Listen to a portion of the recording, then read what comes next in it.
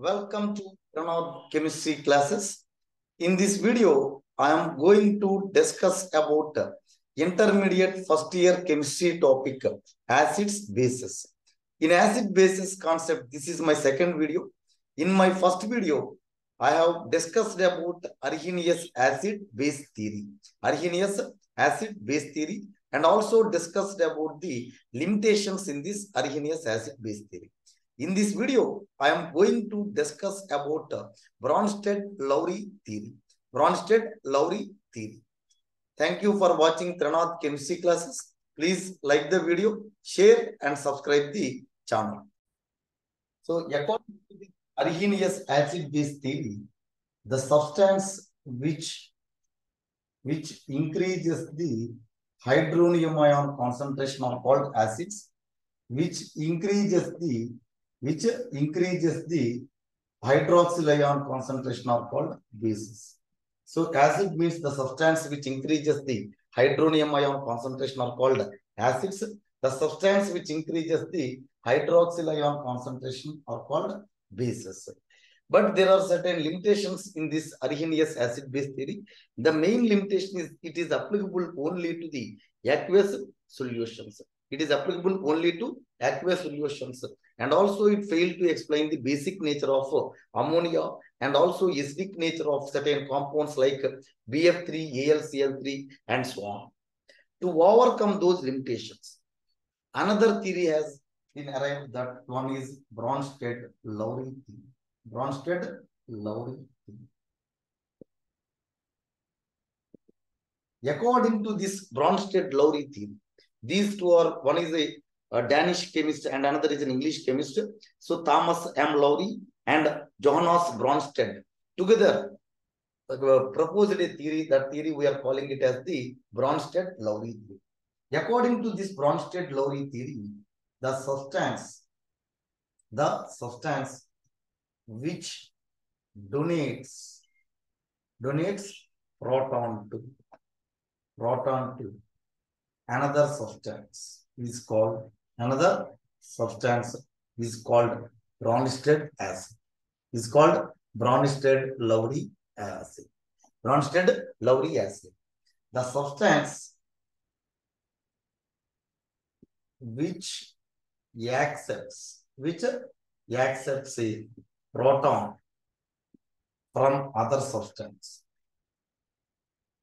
is called is called base. Is called Bronsted-Lowry base.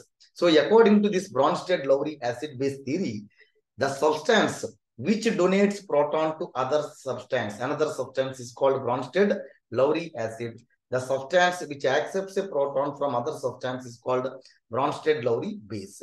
Bronsted-Lowry base.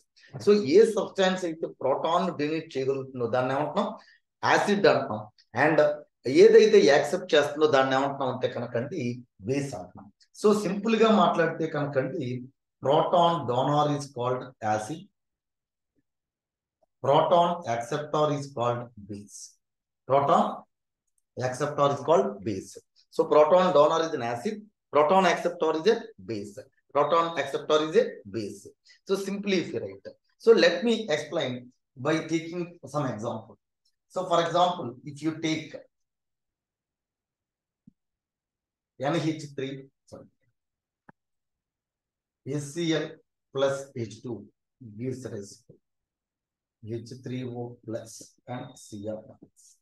So here the HCl molecule, the HCl molecule donates a proton to water, donates a proton to water and acting as an acid. So that's why it is donating a proton and becoming a Cl minus. And uh, as H2O accepts a proton from water, it is called Bronsted-Lowry base. It is called Bronsted-Lowry base. Let me take one more example. NH3 plus H2. So here NH4 plus and OH minus. So in this example, this ammonia molecule accepts a proton from water and behaving like a base. As water donates a proton to ammonia, it is called acid. It is called acid.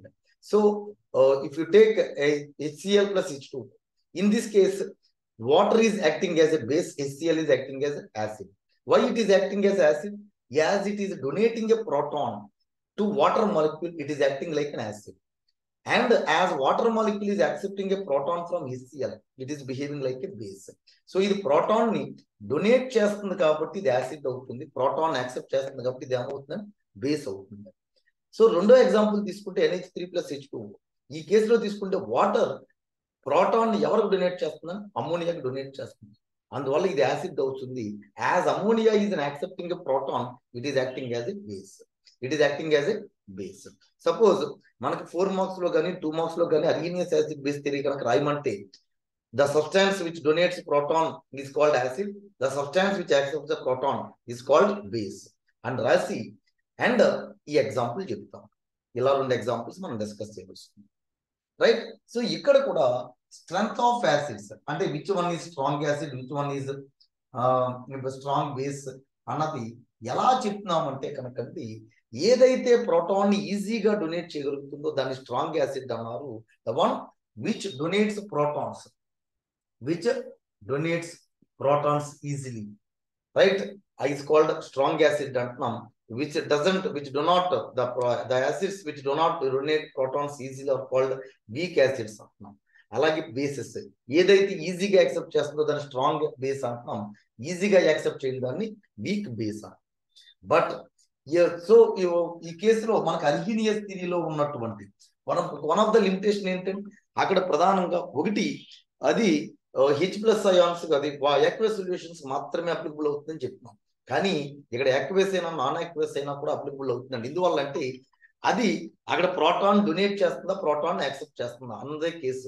There is no rule of solvent but ఇక్కడ రెండోది ఏంటంటే ammonia basic nature explain చేయలేకపోయిందని చెప్పాం but ammonia తీసుకుంటే కనుకండి it is acting as a Bronsted base it is acting as a Bronsted base how because as it is accepting a proton from the acid but the one more limitation, the one one of the limitation in this Bronsted-Lowry theory is Bronsted-Lowry theory is Bronsted-Lowry theory is uh, it failed to explain the acidic nature of electron deficient compounds. Electron deficient compounds such as BF3, AlCl3, whatever limitation in this there the third limitation in this arrhenius acid base theory the same limitation cannot be explained by this bronsted lowry theory.